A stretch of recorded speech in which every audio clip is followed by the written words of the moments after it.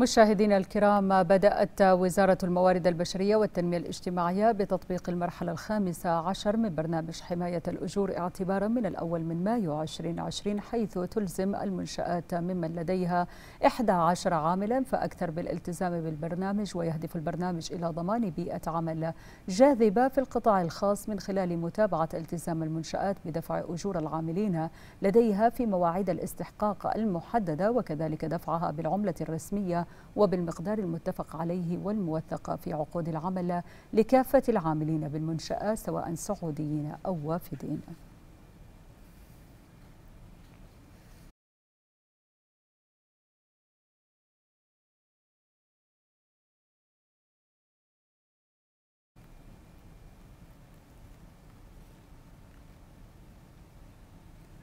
مشاهدينا الكرام للحديث أكثر عن نظام العمل المرن ينضم معنا عبر الهاتف الأستاذ أحمد الذيابي عضو لجنة الموارد البشرية بغرفة الرياض أهلا وسهلا فيك أستاذ أحمد ويسعد مساءك أهلا وسهلا حياك الله ورحب فيك والساده المشاهدين. نعم أهلا وسهلا فيك أستاذ أحمد يعني بداية نريد شرح عن هذا النظام الذي أصدره وزير الموارد البشرية وأيضا الفوائد لهذا النظام والمسمى بالعمل المرن.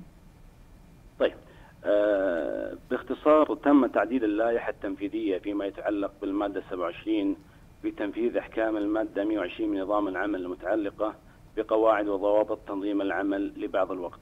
بحيث تم إضافة ضوابط تخص العمل المرن الذي يقتصر على السعوديين فقط ويكون احتساب الأجر فيه على أساس الساعة ويصرف بشكل شهري أو حسب الاتفاق.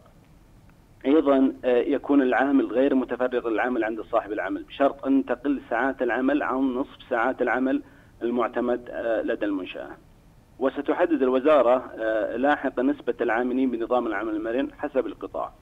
ولن يلتزم صاحب العمل بتعويض العامل بنظام العمل المرن عن جميع أنواع الإجازات المدفوعة الأجر مثل الإجازات السنوية وإجازات المناسبات والإجازات المرضية كما أن العامل لا يخضع لفترة تجربة وليس له مكافأة نهاية خدمة ويسجل في التأمينات الاجتماعية بفرع المعاشات ولا يخضع لفرع الأخطار المهنية أو ساند أيضا يتم احتسابه في نسب التوطين بثلث سعودي بشرط أن, يج... أن يعمل ما مجموعه 168 ساعة في السنة.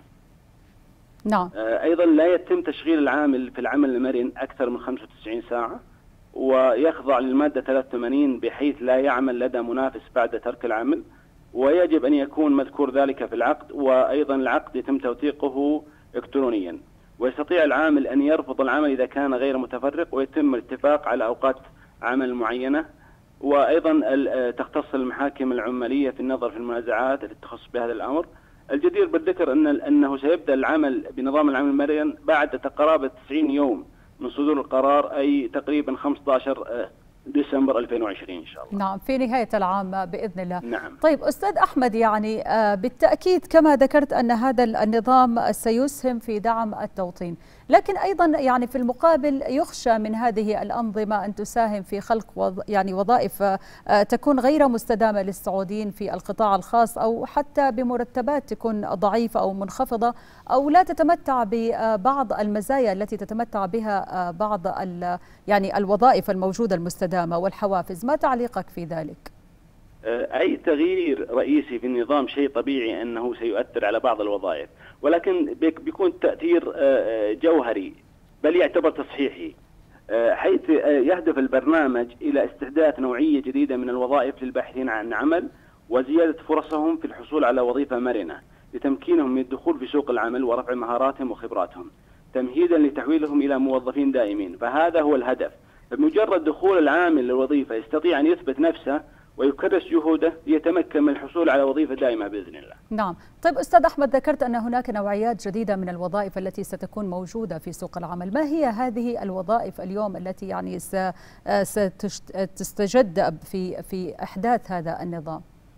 آه، اليوم آه، مع آه، انفتاح التقنية الحديثة أعتقد أن يكون في وظائف كثيرة سيفصى عنها قريبا إن شاء الله بمجرد إنه يظهروا هذا الشيء عن طريق وزارة العمل إن شاء الله. نعم، طيب هل تتوقع أن تكون هناك نسبة عالية لهذا النظام في دعم التوطين أو في دعم التوظيف بالعمل المرن؟ كم تتوقع النسبة التي يعني النسبة لا يوجد نسبة معينة لأنه الموضوع لم لم يفتح حتى الآن نعم. ولكن هيستفيد منه عدد كبير خاصة من من الباحثين عن عمل أو الطلبة الذين لا زالوا على على رأس الدراسة. نعم.